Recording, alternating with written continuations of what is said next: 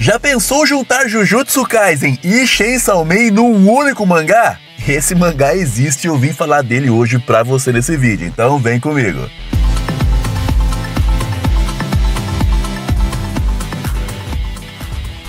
Fala galera, beleza?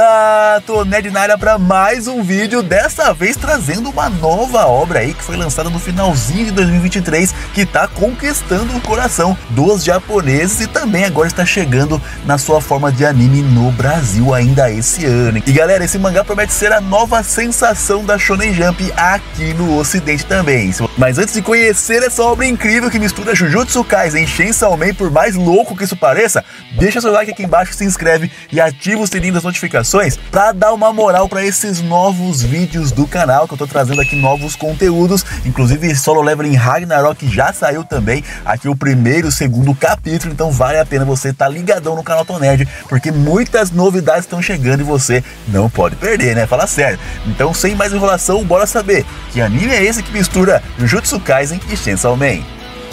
E sim, o que eu falei na introdução do vídeo não foi mentira. Realmente essa nova obra faz dois meses que eu estou acompanhando ela, estou quase chegando já nos capítulos atuais e ela sim mistura o conceito de Jujutsu Kaisen, onde maldições são geradas por sentimentos e acabam aí causando caos na humanidade, com o humor ácido do Chainsaw Man com a sua loucura e insanidade toda. Realmente essa mistura que ninguém imaginaria fazer deu muito certo e essa nova obra foi gerada. O nome da obra é Dandadan, galera. Você já deve ter ouvido falar dela em algum lugar aqui na internet, talvez até aqui mesmo no YouTube. Ela foi lançada em 2021 ali, a sua publicação na Shonen Jump. E o autor dela, que é o Yukunobu Tatsu, ele foi ajudante sim do nosso querido Fujimoto, criador de Gessamei. Por isso que essa loucura toda, né? Falar sério, tá explicado aqui. Mas tô nerd do que que fala esse mangá, cara? Pelo amor de Deus, dá um resumão pra nós aí. Então vamos lá, galera. Nesse mangá mangá nós conhecemos a Ayase Momo. Ela é uma menina ali colegial, como sempre, né? Todos os shonen são ali na idade de 16, 17 anos de idade. Ela é uma moça com os gostos bem peculiares, bem diferentona mesmo,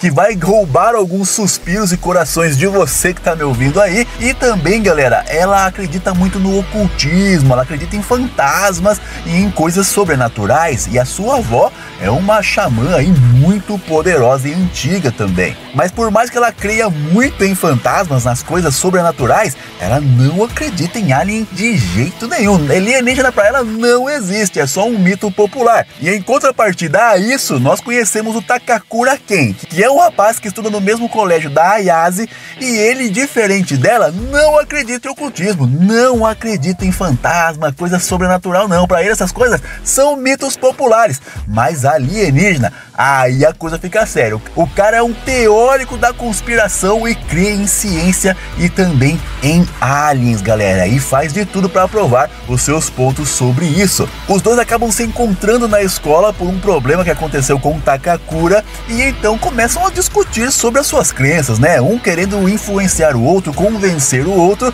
que, né, ao que eles creem realmente existe. E aí então surgiu um desafio, exatamente. O Takakura desafiou a Yase a ir num prédio, galera, onde os mitos né, populares dizem que existe muita atividade de aliens naquele lugar. E ela desafiou ele né, para provar que fantasma existe a ir num túnel abandonado onde dizem que uma grande maldição extremamente poderosa reside. E os dois, então, para provar que estão corretos, vão aí cada um para essas localidades que eu citei para vocês e vão à noite. Cara, por que, que vai à noite? Toda coisa de terror tem que ser à noite, mas de dia! Vai com a luz do sol brilhando lá no meio-dia, solzão rachando, pô, por que, que vai à noite? Mas fazer o que, né? Terror é sempre assim. O Takakura entra ali com muito medo no túnel e dá de cara com uma véia. Sim, uma véia.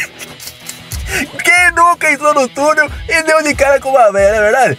Mas essa velha não é uma velha comum, tá de brincadeira? Se fosse, não estaria aqui no vídeo. Essa velha aí é o demônio da velocidade, galera. É a velha porreta que corre para arrebentar. E ela é uma maldição extremamente poderosa, mas que sim, ela tem alguns segredos por trás ali relacionados a esse túnel que eu não vou citar agora aqui, porque esse vídeo é só uma resenha para apresentar ali, abrindo as portas desse mundo para vocês de Dandadan, tá? E essa velha, cara, ela, ela quer quer fazer algumas coisas com o menininho, sabe como é que é, né? Véia safada, com coisa assim, e tal.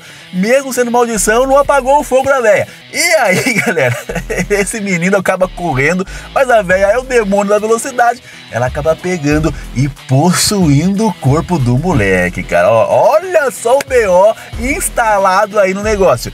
E no outro lado, a Yase, que foi lá no prédio lá Casca Grossa, né, que tem atividades alienígenas, ela acaba entrando ali, ela é um pouco mais corajosa, né, mais decidida, sabe que isso não existe, dá de cara com esses caras que você tá vendo aí. Rapaz, imagina só você entra num prédio abandonado e dá de cara com um grupinho desse, meu amigo.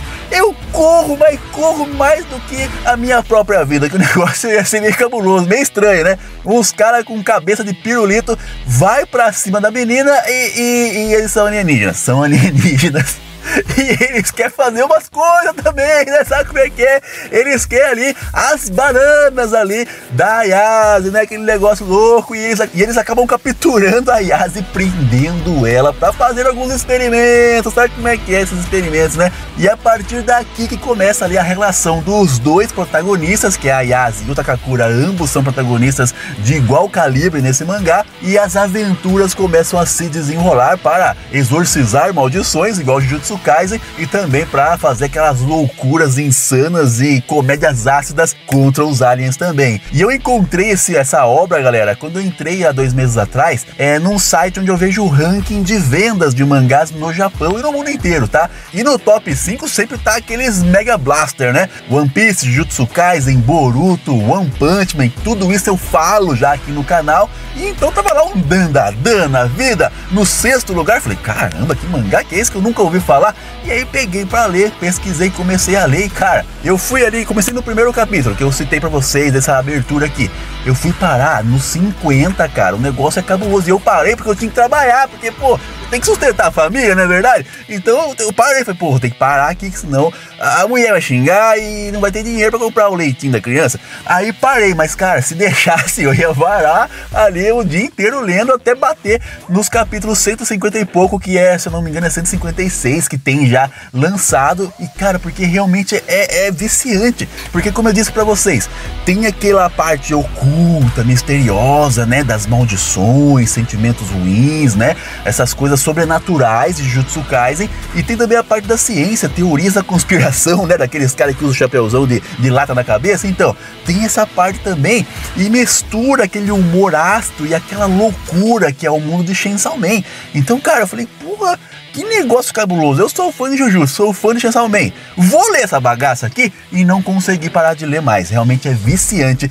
E se você pegar para ler aí, vai acabar no mesmo destino que eu, cara. Vai ser mandado embora do serviço. Eu não vou mandar embora não, mas pô, vai, vai, toma cuidado, cara. Toma cuidado que realmente esse, essa obra é muito viciante e eu tô pensando em trazer ela pro canal. Começar a trazer aí dois capítulos aí, fazer um resumão ir trazendo para vocês, porque agora, esse ano, em outubro, sai a animação, a primeira temporada de Dandadan na Netflix, galera. Inclusive deu um problema aí, acabou vazando, né, alguns episódios, mas cara, sem problema, vai sair na Netflix e eu creio que a partir daí vai ser um boom aqui no ocidente a respeito dessa obra também, tá? Mas agora diz você para mim aqui, Quer que eu traga Dandadan pro canal? Quer que eu faça leituras, reviews dos capítulos para vocês, igual eu faço de Jujutsu, Boruto, One Punch Man, Chainsaw Man também? Deixa aqui nos comentários a sua opinião e vai ler, vai ler lá e depois você deixa aqui embaixo o comentário o que você achou, qual foi a sua nota para esse novo mangá que tá surgindo aí, beleza, galera? E é claro, chegou até aqui, mete o dedo nesse like para ajudar o seu amigo Tonerd a continuar aqui na plataforma e já se inscreve no canal Tonerd com o sininho ativado que isso dá uma moral gigante para mim aqui e para toda a galera que me ajuda a fazer os vídeos, beleza, galera? Vou deixar dois vídeos até o final, estão muito bons, vale a pena assistir. E é isso, esse é o fim do vídeo. Obrigado por permanecer até aqui e valeu!